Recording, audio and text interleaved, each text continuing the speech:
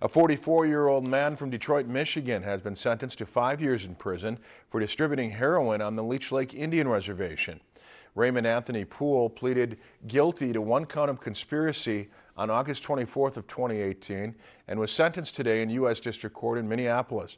According to his guilty plea and documents filed in court, between April 2016 and March 2017, Poole conspired with other individuals to distribute about 227 grams of heroin between Minneapolis, Bemidji, Cass Lake, and on the Leech Lake Indian Reservation.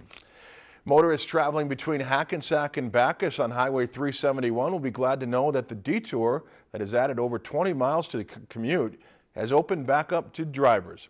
The construction project began Labor Day weekend with a detour beginning September 4th. The detour rerouted drivers along County Road 40 Highway 64 and Highway 87 and added 23 miles to the trip.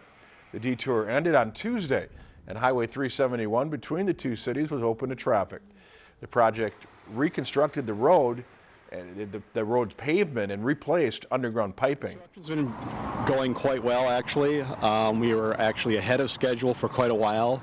Uh, we had hoped to pull the detour a week early, and then October's rains sort of got in the way and uh, pushed it back to where we kind of thought it would open anyway on October 16th. Um, so the detour was lifted on Tuesday, October 16th but there will still be a few days of lane closures left. We still need to uh, get the striping put down.